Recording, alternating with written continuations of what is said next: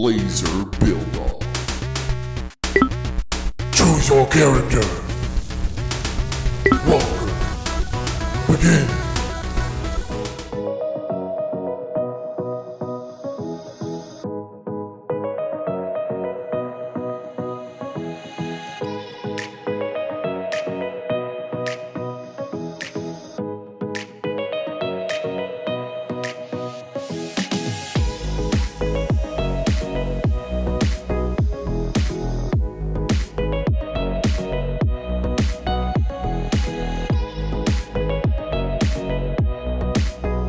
So this is a hatchet fish.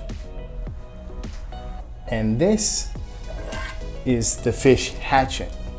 So this is a five millimeter steel that I slightly sharpened. And then we have a synthetic brushed aluminum on top just to give it that cool look. And then we did a poplar handle that I just sanded lightly and stained and painted. And then it's all uh, Chicago bolted together.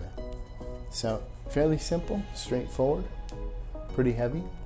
The idea of the fish stand is that the fish has died and turned into this sort of fish hatchet monster.